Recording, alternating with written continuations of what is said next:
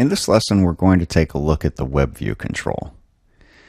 Sometimes in your applications, you'd like to be able to show a browser page, but you don't want to link out to the actual browser application. You want to keep the user within your application, and you may even want to control what they can and cannot browse to. Sometimes applications want to go to a web view because they want to be able to show the content, perhaps of someone's Facebook page or if it's an e-commerce site, they may want to go to the business's website. So we're going to take a look at the web view. And we're going to do a couple of lessons on it. We're going to do a basic web view in this lesson, and then we'll see how to restrict content in the next lesson. So I have my storyboard, and I'm going to have a little address bar and a go button to go to that particular URL and the web view. And the web view is just another control. You can find it down here towards the bottom.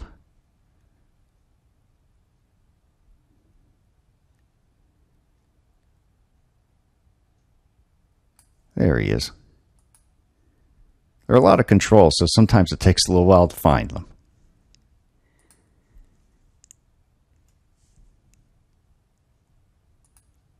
In terms of connections, I've just created a referencing outlet for the web view, a referencing outlet for our address text box, and an event for our button. And the code is pretty simple. You can see our outlets for our text field and our web view and our button event. I'm going to get the address that they've entered into the text box and I'm going to check it. And I need it to have a protocol if they haven't entered one.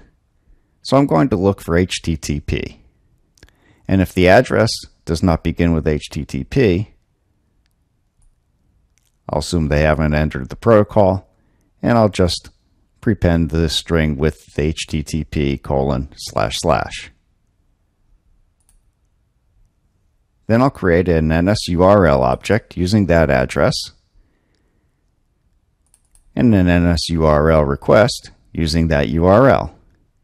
And finally, I get to go to my web view, mistake.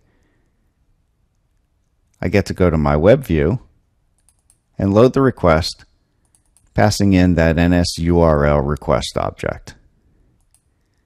So that's pretty simple. Now there's one other little thing that will probably trip you up. I'm using HTTP, which of course is not a secure link and not necessarily a good practice to use in a generic, general sense that allows a user to go anywhere with an unsecure site. And by default, iOS does not allow this. But if we go into our info plist, we can create a key that will allow it. So you create a dictionary called NSApp Transport Security, and you add one item, NS allows arbitrary loads, and it's a Boolean, and you set that to yes. Now, this is not a recommended thing for a real production app. So be aware of that. And for a production app, if you're going to set that, you may want to restrict where they can go a lot more than what I'm doing here, which is no restriction whatsoever.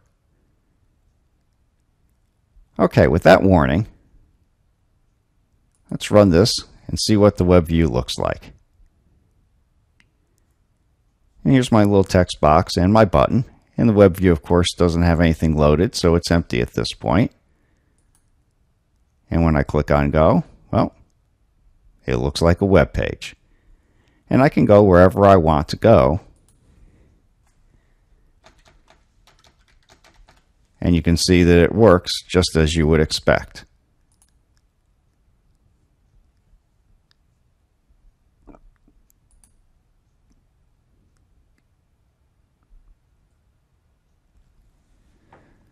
So in this way, the user actually has unrestricted access to the browser, and I'm effectively created a mini browser in this application. Not a particularly full featured one, but a mini one nonetheless. it's probably not necessarily what you really want them to do in the application. You probably want to specify where they go and control where they can go and where they cannot go. And we're going to take a look at that in the next lesson.